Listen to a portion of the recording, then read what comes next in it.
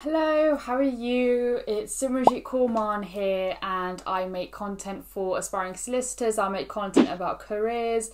I vlog my life as a trainee solicitor and show my journey towards becoming a qualified solicitor in the UK. And today's video may be controversial, I don't know. Maybe it is. I don't know. I'm just going to be very, very honest about the things that I didn't like at the University of Bristol. I studied law there and I guess maybe a bit of a disclaimer is I studied at the University of Bristol from 2015 down to 2018. So, of course, my opinion of the university is three years old. Things may have changed since then. If they have, let me know if you are a recent graduate at Bristol. I'd love to hear your thoughts about your uni- the university. And even though in this video I'm going to be talking about the things that I specifically hated at university, I would never ever go back in time and change my decision about studying at Bristol. I honestly really loved it there. However, in this video, I'm going to be talking about four things that I felt really maybe let down the experience just a little bit. Just a quick ad break before we start the video. I promise it will be super quick. I just want to talk about these goodies that Cherryz have kindly sent to me. Cherryz is an app where you can get everyday household items as shown in this video for sometimes cheaper than retail prices. I definitely picked up some bargains here. If you're interested, download the Cherryz app via the link in my description below, and you can get 20% off your first order if you use the code SIMRAN20. Thank you. Now let's get back to the video.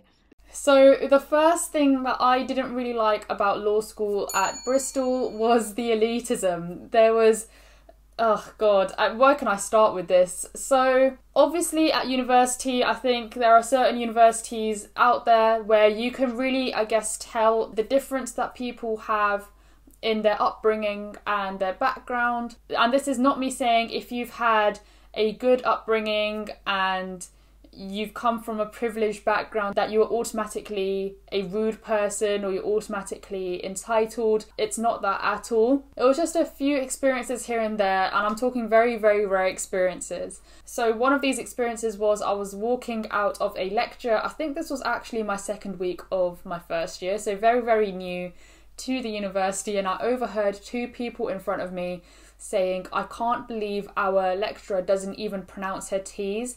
How can she even you know teach? I, am not even going to go to her lectures. I don't think she's a good teacher. I don't know. And this lecture was actually really good.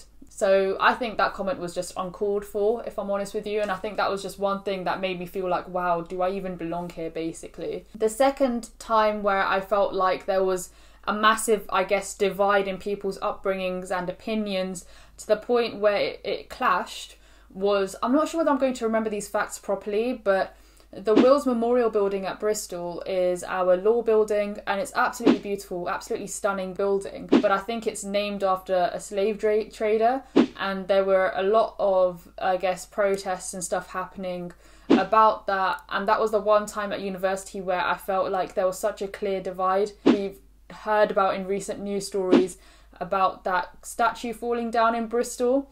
So when I heard about that, it was very much a moment of wow, this is something that even when I was at university, we were protesting about statues and these kind of monuments being named after people who did the most horrible things. So it's that was something that I think really stuck with my university experience and I think at school I guess I had a bit of a naive view of all of us being the same and coming from the same upbringing but when I was at university it really brought to light in a very harsh reality of how how different my upbringing was to other people and then this then contributed sometimes to my feeling of not belonging at university. I was very intimidated of people essentially who I felt like had a higher upbringing. And that essentially made me feel like I couldn't be part of the corporate sphere. I couldn't work well in the professional field because I was not made for this. I did not have that upbringing to survive in that kind of culture. And I'm really glad that I got myself out of that mindset because right now I'm in the corporate world and I think I'm doing pretty well for myself. So I'm glad I got out of that and didn't really think that you have to be of a certain background in order to get this kind of career. I also think that the teaching at Bristol, some of my tutors were absolutely fantastic. I mean, they were so inspiring, but some of them, the way they taught was so boring and uninspiring. And I mean, talking about literally reading off a lecture slide. And I mean, this is probably the case at any university, not only Bristol, but I I just found that really uninspiring, and it was a bit like, why can't you guys I engage your audience a little bit? I don't know. So that's one thing that I I didn't really like at law school either. I also felt like sometimes your creativity in law gets dimmed because you have to go by these set modules. I think my biggest thing with law school was how impractical some of the modules were. And I, I really didn't understand why I had to learn some of these things, which I'm not going to use. Like that whole argument that you hear about all the time of when am I going to use Pythagoras' theorem in my life, that's how I felt about some of my modules. However, one really good thing that Bristol did was introduce modules in my final year that were a lot more practical. So I did modules. Um, like one module was me basically working in a pro bono clinic and then doing coursework about my experience there. That was really practical because I had real life experience with real clients and helping them out with their uh, their legal issues. And the second thing was a module called corporate law simulation at university. And that was essentially you would act like the buyers and sellers on each side of a transaction.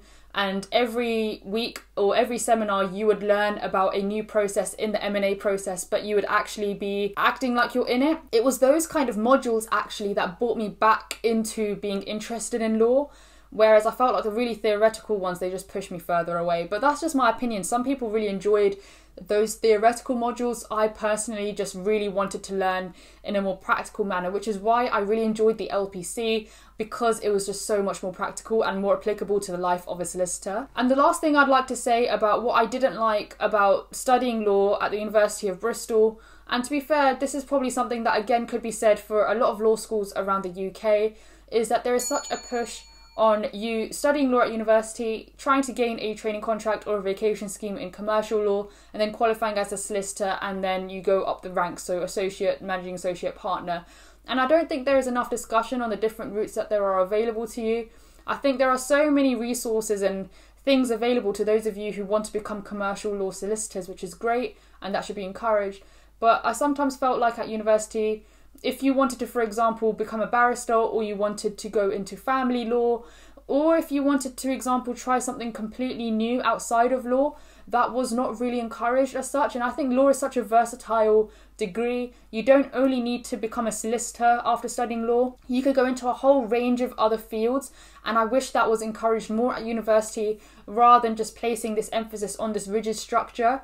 And also, there was nothing at university that I encountered that offered in house opportunities. It was always in private practice firms, and it felt like private practice was the only way to qualify as a solicitor. I only realised afterwards that you can paralegal in in house firms in their legal teams, you can get a training contract in in house legal teams, and you can qualify and become a solicitor in in house legal teams as well. So I didn't know any of that when I was at university, and I wish there was more emphasis on that as well, rather than just going down the typical route that everyone, including myself, ended up going down. So that's everything that I'd like to say about my time. I hope that video was somewhat helpful. Hopefully, it wasn't too negative. At the end of the day, those were only four things that I didn't really kind of like about law school. In terms of studying law, I'm not sure whether I'd do, whether I'd do it again. If I'm honest with you, if I could go back in time, maybe I would have studied English or history. But then the GDL might have been super intense, so I don't know. At the end of the day, I'm just happy with the routes that I've taken in my career journey and where I studied.